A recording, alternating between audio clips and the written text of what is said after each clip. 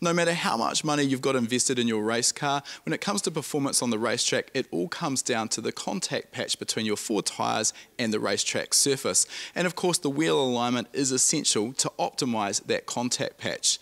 We're here with James from Jota Sport to find out a little bit more about wheel alignment, although admittedly, this is at the upper echelon of motorsport with their LMP2 race car. So, James, getting that wheel alignment sorted out in the first place obviously starts here in the workshop. Now, you've got a reasonably special setup that I want to talk through. Yep. And it starts with the surface that the car's set up on. It's not just on your normal workshop floor, you've got a very special steel plate that the, the car is set up on. Tell us what's so special about that. Well, this surface table is checked every year, basically, so it's completely flat. Um, and it's a good reference for us when we go to fly away, basically international races. This is a good benchmark to start with. Um, and after every event, it comes back, and we just know that the car is spot on.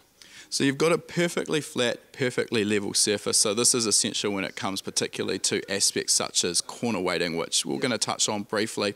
But as you've just mentioned, uh, you're, you're doing your setup here in the workshop, then you're flying away to another event where potentially you're not going to have a perfectly flat surface. So how does getting your setup here done in the workshop allow you to confirm everything at the track?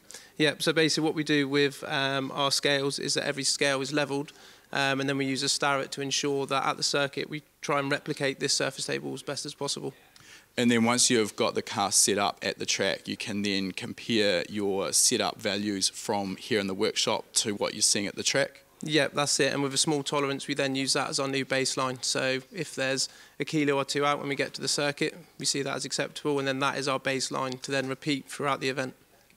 So with the, the alignment setup, you've just talked about the, the corner weights, and yep. again, we're going to come back to that. But the other aspects we're normally looking at here are camber and toe. So you can, can you tell us, starting with camber, what are you using? What equipment are you using to measure the camber? So we use a digital camber gauge, um, which is also zeroed, and we check the tolerances out all the time. Um, and that is basically placed against our setup wheel, and that is our reading, basically, that we take. Actually, compared to how we would set up the alignment on a conventional road-going car, it's quite different because, as we can see here behind us, uh, the car has no wheels on it. So can you just talk us through those setup plates and why you use those, how they work? Yeah, basically it's um, a machine piece of billet um, and we can just ensure um, that there's no deflection um, and it's repeatable. So we eliminate the tyre, we eliminate anything that's movable. Um, and essentially, yeah, that is it, just to eliminate any discrepancies and just be consistent with it. Okay, so you've talked about the camber there, measuring toe. Now, again, coming from a road car background, uh, particularly the hobbyist enthusiast level, it's quite common to take your car along to a wheel alignment a specialist where they may be using a laser or camera based wheel alignment machine and instead behind me you're using strings to set this up. Yep. Now a lot of people might think on face value this sounds backyardish or, or pretty rudimentary, but again you, are operating at LMP2. This is very high level motorsport and strings are still acceptable. Can you tell us why you favour strings and, and how they work? Uh, I just feel that they can be measured and it, it's a quantity that can be seen and obviously with flying around the world it's something that can be constantly checked and zeroed um, whereas with lasers if you have a system that's complex um, and it goes out of tolerance you're sort of in a position where you may not be able to rectify that or even spot it. I think probably it's important to mention again at the hobbyist level, uh, people are taking their car to a, a, wheel alignment specialist. They don't have a, a, portable laser alignment yeah. system, so that's fine. But the problem is there you can't make any adjustments at the track, whereas the string system uh, affords you a lot more flexibility. Can you just talk about the principles behind string wheel alignment? Because what we're really talking about here is uh, a way of accurately measuring the toe on each corner of the car. Yeah. So how does the string system work and how does it allow that to be measured? Uh, basically on our setup wheel we have a flag at the front um, and the rear of the wheel and then we use just a conventional ruler, take a measurement off the front and the rear and the difference is in our toe figure. Okay, so you've got you're measuring out from those little flags out to the string that you've got run down each side of the car. So the the key point there as well is the two strings that you've got running down each side of the car yeah. must be absolutely parallel. Correct, yeah. So you've got a, a, really special setup that's all machine particular to the car, so that you can just fit it and you know that those strings are set up correctly. Yeah, that's correct. Yeah, so we have. Um, a Zimmer front and rear, and then our ride height bars are then fixed to that at a set dimension. Um, and that is our baseline again. So. So that Zimmer you just mentioned, this is a, a frame essentially that bolts to uh, take up points on the front of the chassis in place of the front nose cone and there at the rear of the back of the transaxle. Is that correct? Yes, correct. Yep. So ensuring every time the setup goes onto the car, you've got those strings in exactly the same location. Again, just making things nice and quick, repeatable, and precise. Yeah, that's correct. We do uh, measure us because obviously the bars are adjustable. We do check that measurement every time we set the car up just to ensure nothing's moved. Um, and again, those lines are still parallel. Okay, so we've talked about the toe and we've talked about the camber, and those are two of those main factors that the, the team may be changing at a race event based on uh, the track that the car is being comp is competing on and also the, the weather conditions. The other aspect that uh, I just want to talk about briefly here is the corner weight. So you've got the car set up on some corner weight scales. So that's measuring the weight on each corner of the car. Why is that important and what are you using that information for? Um, I think fundamentally weight distribution, um, how much rakes in the car I think is monitored by the engineers, um, and also uh, from a, a braking performance perspective, if the corner weights are out and you have uneven corner weights across the front, you're going to get uneven braking, and then obviously that's not desirable.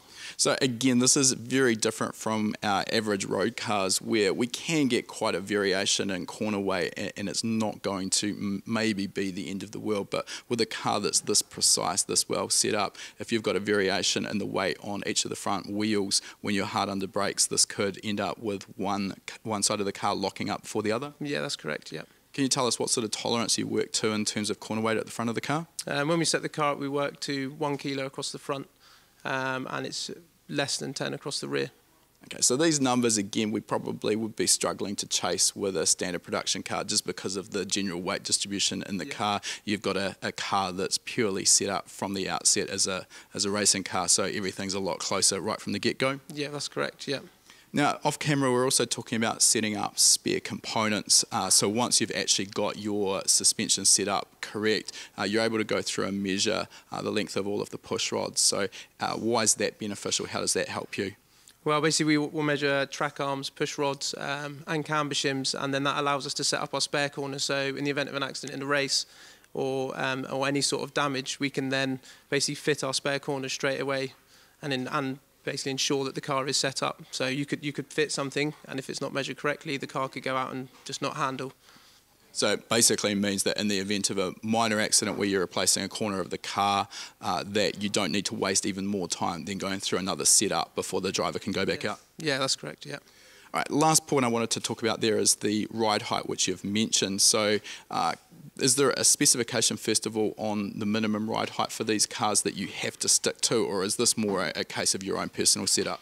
It's personal setup, um, but due to the skids underneath the floor, um, if there's if the car is too low, they'll wear excessively below the limit and then will be excluded. So there isn't a minimum ride height as such, but the ride height is dictated by that skid wear uh, that uh, skid on the underside of the car. Essentially, it's a, a motorsport level uh, plywood, for want of a better term. So uh, you start with that at uh, what 25 millimeters That's thickness, it. and what are you allowed to run down to? Uh, 20 is a minimum. Look, James, it's been great to get some insight into the car and that setup there. And, and again, while you're operating at the LMP2 level and your string alignment setup is definitely a little bit more extreme than what we see uh, at uh, the hobbyist and enthusiast level of motorsport, this is still something that is totally applicable uh, to everyday street cars and uh, those attending track day cars, uh, track day events. So thanks for the chat there. No worries. Thank you.